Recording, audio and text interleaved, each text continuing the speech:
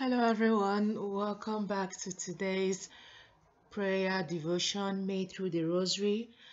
For today is our fifth day of the May um, prayer through the um, praying the Rosary devotion. For today, we will be looking at what it means to be fertile, and the fertility I'm looking at here is to be how to be fertile in Christ. So we'll begin uh, our prayer in the name of the Father and of the Son and of the Holy Spirit. Amen. Come, Holy Spirit, and fill the heart of your faithful, and enkindle in us the fire of your love. Send forth your Spirit, and they shall be created, and you shall renew the faith of the earth. Let us pray. O God, who taught the heart of the faithful by the light of the Holy Spirit, grant that by the same Spirit we may be ever truly wise and rejoice in his consolation through the same Christ our Lord. Amen. I believe in God, the Father Almighty, maker of heaven and earth, and in Jesus Christ, his only begotten Son, our Lord, who was conceived by the Holy Spirit, born of the Virgin Mary, suffered under Pontius Pilate was crucified, died, and was buried. On the third day, he rose again in accordance with the scriptures. He ascended into heaven, and he is seated at the right hand of the Father. There he will come to judge the living and the dead, and his kingdom will have no end. I believe in the Holy Spirit, the Holy Catholic Church, the communion of saints, the forgiveness of sins, the resurrection of the body, and life everlasting. Amen. Our Father who art in heaven, hallowed be thy name. Thy kingdom come, thy will be done on earth as it is in heaven. Give us this day our daily bread, and forgive us our trespasses, as we forgive those who trespass against us. Lead us not into temptation, but deliver us from evil. Amen. Hail Mary, full of grace, the Lord is with you. Blessed are you among women, and blessed is the fruit of your womb, Jesus. Holy Mary, Mother of God, pray for us sinners now and to the hour of our death. Amen. Glory be to the Father, to the Son, and to the Holy Spirit, as it was in the beginning, is now, and ever shall be world without end. Amen. O my Jesus, forgive us our sins, save us from the fire of hell. Lead all souls to heaven, especially those in most need of your mercy. Jesus, have mercy on us. Mother Mary, help us. May the souls of all the faithful departed, through the mercy of God, rest in peace. May their soul rest in peace. Amen. So, for today's intention, as I mentioned, we'll be looking at what it means to be fertile in Christ. And the fertility I'm talking about is not the multiplication of children through childbirth, but rather the multiplication of the faithful through preaching the word of God, inspiring, and also mentoring slash coaching them in their faith. So that's the type of area of fertility that I would like to focus on. So, one thing um, about fertility that I learned is that um, obviously, for you to be fertile, you, you have to sow in something. So, that sowing can be sowed into you by someone else, or you can sow that into yourself by picking up the Word of God, for example, the Bible, or anything that is Christ related, to read and learn for yourself. So when you do that, you, what you're doing is sowing. So, and then once you sow, you also have to conceive the message. So what do I mean by conceiving the message? To conceive is actually to believe in the message that you have been taught. To conceive the message is about trusting that what you have been taught to be right and trusting in the person that you believe to be your one true God and also being moved and inspired then to do something about it okay? So a lot happens in the period of conception and once you conceive in this situation there is always a period um, between the nine months that a person or a woman has a child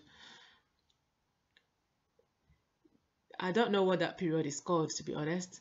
But within that period there is something that happens. That's like when you sow a seed there is a period that it takes for it to get its roots before it start germinating or start sprouting and start coming out from the ground.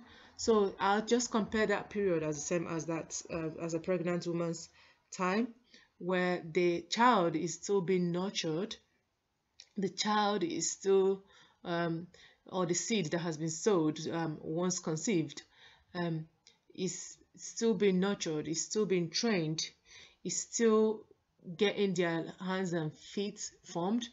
Is in that period, what happens in that period is the word then starts building in you the words that you receive start speaking to you god start doing a lot of things within your heart and your mind about the messages that you've received about him so a lot happens during that period of conception and also um, at that time you start developing the confidence to learn how to use what you've learned to preach or teach others. So that's the type of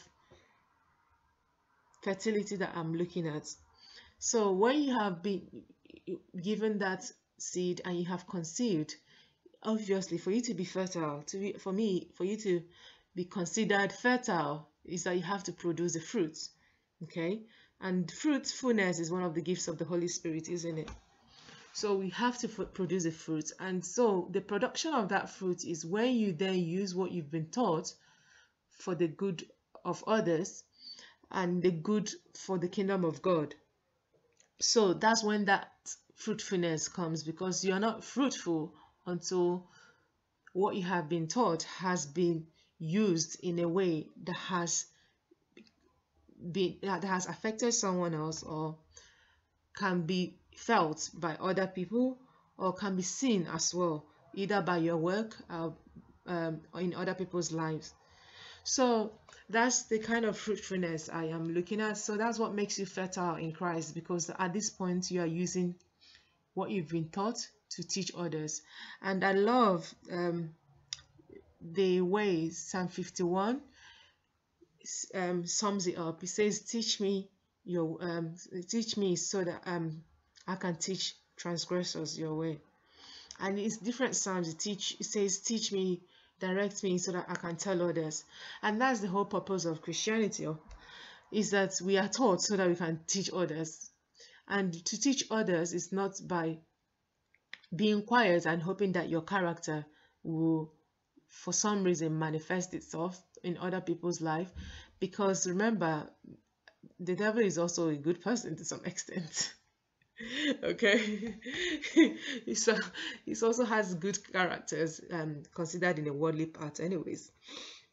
So i'm just saying that it's important that we start speaking the word of god and start using it to bring others close to god. And one thing that makes us infertile is when we start believing in our own thoughts thinking that we can't speak because of others um, of fear of judgment because we feel like we are condemning others, we feel like we are being judgmental. Sorry, who taught you in the Bible that you cannot, when you tell other people to turn from their sin, you are being judgmental? I believe Jesus did that several times and commanded his apostles to do the same and told them if anyone doesn't welcome you when you go to preach to them and to, um, to turn them into repentance, leave. So and he also commanded you whatever he forgives or you forgive on earth he's been forgiven in heaven. So therefore for you to forgive you must have thought something is wrong.